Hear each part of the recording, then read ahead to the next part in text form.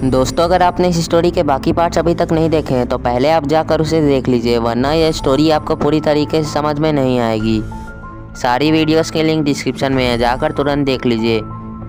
पिछली वीडियो में आप लोगों ने देखा था कि नकली बाबा और खुनी भी सिलेंडर मैन के पास जाने लग जाते हैं और थोड़ी ही देर में ये दोनों सिलेंडर मैन के पास पहुँच जाते हैं। नकली बाबा सिलेंडर मैन से बोलते हैं कि, सिलेंडर मैन, मेरे पास एक अच्छा आइडिया है। इन दोनों, इन तीनों लोगों को इन्हीं लोग की जीप से कुचल डालो। जल्दी से जाओ, इन लोगों की जीप को उठाओ और इन्हीं को ऊपर फेंक दो, जिससे इन तीनों की मौत हो जाएगी। और ये सब सुनकर सिलेंडर मैन बोलता है, नकली बाबा से ठीक है, नकली बाबा ये बहुत ही अच्छा आइडिया, मैं अभी जीप को उठाता हूँ। और इतना बोलकर सिलेंडर मैन गुल्ली सॉन रॉड की जीप के पास जाने लग जाता है और वो जीप को उठा लेता है और इसके बाद सिलेंडरमैन, गुल्ली सॉन रॉड के पास दोबारा जाने लगता है इस जीप को उन लोगों के ऊपर फेंकने के लिए।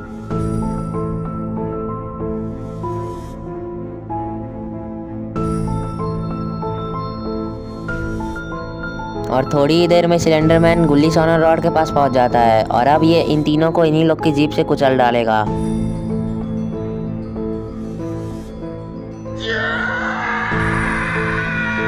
लेकिन तभी ये क्या हुआ? सिलेंडर मैन रुक क्यों गया?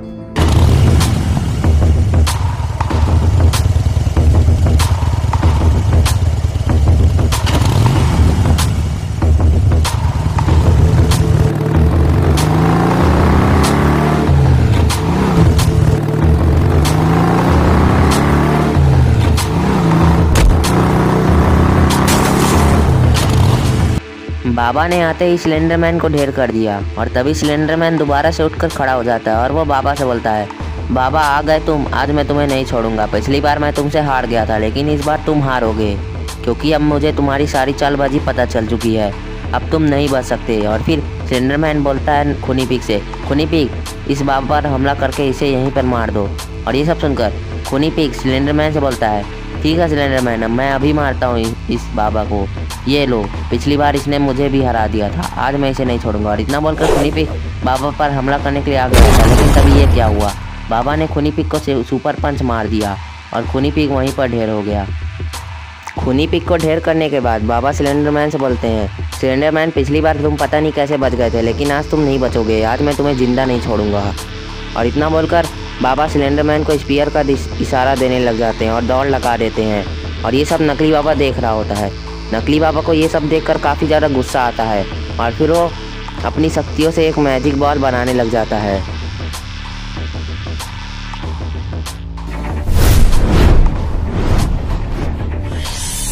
नकली बाबा अपनी सारी शक्तियों से बाबा पर हमला करता है और बाबा सिलेंडर मैन को स्पीयर मारने ही वाले होते हैं। तभी नकली बाबा की शक्तियों से बाबा को चोट लग जाती है और बाबा बेहोश हो जाते हैं।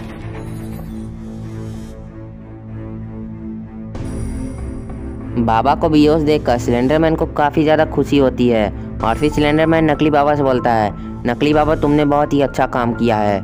आज ये मुझे मार ही देता। अच्छा हुआ तुमने अपनी सारी शक्तियों से इसे ढेर कर दिया। अब मैं इसे अपने पैरों से कुचल दूँगा और इसके बाद आज ये हार जाएगा। और फिर ये हमें कभी भी तंग नहीं कर पाएगा, क्योंकि ये मारा जाएगा। ये सब सुनकर नकली बाबा सिलेंडर मैन से बोलते हैं हाँ सिलेंडर मैन, मैंने तो अपनी सारी शक्तियों से इसे ढेर कर दिया। लेकिन अब मेरी सारी शक्तियाँ थोड़ी देर बाद वापस आएँगी। तब तक मैं कुछ नहीं कर सकता, इसलिए इसके उठने से पहले इसका काम तमाम कर दो। और इसे अपने पैरों से कुचल कर मार डालो। और ये सब सुनकर सिलेंडर मैन नकली बाबा से बोलता है, ठीक है, मैं अभी इसका काम तमाम करता हूँ। और इसके बाद सिलेंडर मैन अपने पैरों से बाबा को कुचलने लग जाता है।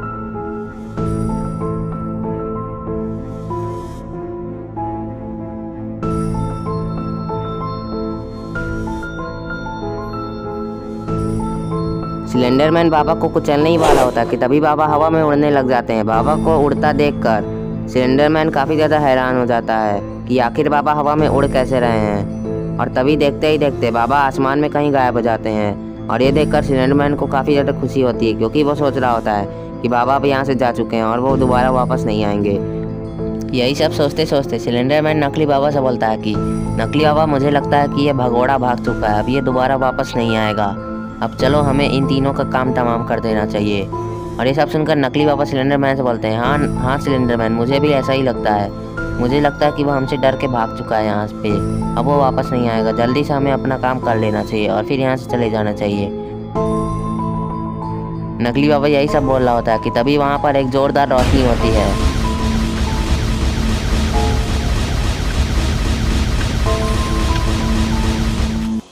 और ये सब देखकर स्लेंडरमैन और नकली बाबा काफ़ी ज़्यादा हैरान हो जाते हैं कि आखिर ये क्या चीज़ है। और तभी देखते ही देखते उस रोशनी से बाबा उतर जाते हैं। अरे ये क्या? बाबा तो सुपर एक्सट्रीम मोड में आ चुके हैं और ये काफ़ी ज़्यादा खतरनाक दिख रहे हैं। अब लगता है स्लेंडरमैन और नकली बाबा का बचना नामुमकिन हो चुका है। बाबा को सुपर एक्सट्रीम मोड में देखकर स्लेंडरमैन बाबा से बोलता है कि, बाबा, तुम अभी मुझे जानते नहीं I am a very very bad man और ये सब सुनकर बाबा काफ़ी ज़्यादा गुस्से में आ जाते हैं और वो सिलेंडर मैन से बोलते हैं कि if you are bad then I am your dad और इसके बाद बाबा सिलेंडर मैन की तरफ़ दौड़ लगा देते हैं और बोलते हैं, बाबा कि हम मरने के लिए तैयार हो जा तू। और इसके बाद बाबा एक जोरदार ऊँची छलांग लगा देते हैं और वो सिलेंडर मैन को बीच से काट देते हैं।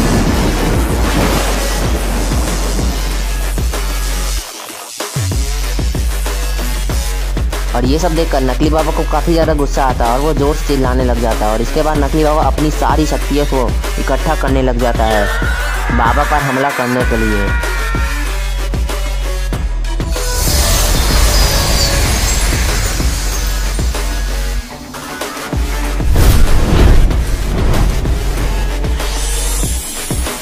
और ये सब देखकर बाबा को काफ़ी ज़्यादा गुस्सा आता है और वो अपने वीपन से नकली बाबा पर एक जोरदार हमला करते हैं। इसकी वजह से नकली बाबा एक ही बार में ढेर हो जाता है।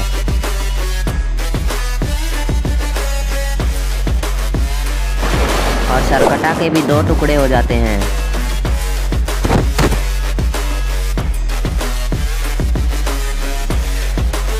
और इसके बाद बाबा काफ़ी कूल तरीके से अपने वीपन को अपने पास बुलाते हैं और उनका सुपर एक्सट्रीम मोड ख़त्म हो जाता है। और थोड़ी ही देर बाद गुल्ली सन और रॉड को भी होश आ जाता है और वो लोग ये सब देखकर काफ़ी ज़्यादा खुश हो जाते हैं और वो लोग बाबा के पास जाने लग जाते हैं। और रॉड तो कुछ ज़्यादा ही एक्साइटेड हो गया, इसलिए वो डांस करते हुए बाबा के पास जा रहा है।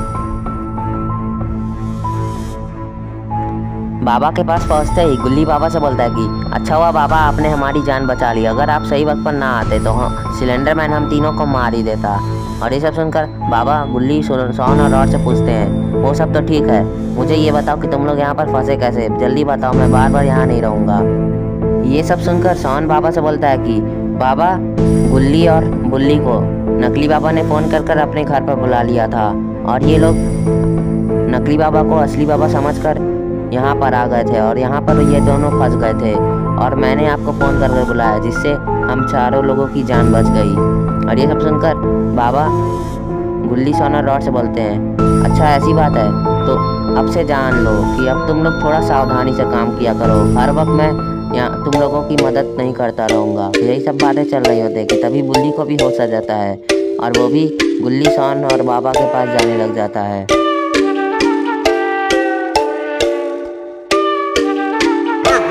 और थोड़ी ही देर में बुल्ली भी इन पाँचों के पास पहुँच जाता है। और इसके बाद ये लोग अपनी जीत का जश्न मनाने के लिए डांस करने लग जाते हैं। तो दोस्तों, अगर कैसी लगी आपको ये स्टोरी अगर आपको ये स्टोरी पसंद आई और अगर आप बुल्ली बुल्ली की और एनिमेटेड वीडियोस देखना चाहते हैं तो इस वीडियो को लाइक करें चैनल को सब्सक्राइब करना और बेल आइकन दबाना ना भूलें। और आपको इन पाँचों में से किसका डांस सबसे अच्छा लगा, ये कमेंट में मुझे ज़रूर बताएँ।